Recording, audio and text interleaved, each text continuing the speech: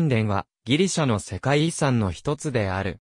紀元前6世紀に栄えた都市国家サモスの王子の姿を伝える遺跡群が登録されている。ピタゴリオは古代ギリシャローマ時代の記念建造物群が残る要塞化した港である。元々の名前はティガニと言ったが、数学者ピタゴラスを輩出した町であることから、1955年に現在の名称に変更された。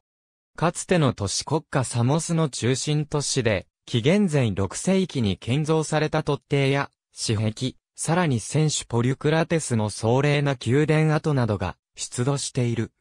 また、ヘロドトスの歴史でも言及されている、ギシエウパリノスの作った全長 1.35km の地下道水路なども残っている。ピタゴリオの防壁ヘーラー神殿は、ピタゴリオの西方 6km の場所に残る神殿の遺跡群である。サモス島は、ギリシア神話の女神、ヘーラーの生まれた場所とされ、古くからヘーラー信仰が行われてきた。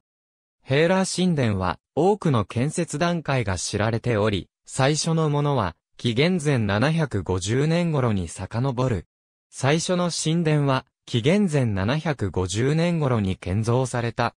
木の柱に囲まれた女神像を中心とする幅6.5メートル、奥行き32.86メートルの細長い神殿だったが、紀元前670年頃に水害によって失われた。前の神殿が失われたすぐ後に、代わりとなる神殿の建造が始まった。今度の神殿は幅11.7メートル、奥行き37.7メートルと、前の神殿より若干大きくなった。この神殿は、ギリシア神殿としては、列中楼を備えた初めてのものであったとされる。この時期には神殿に様々な品が奉納されており、発掘調査の結果見つかったそれらのうちのいくつかは、サモス島の考古学博物館に収蔵されている。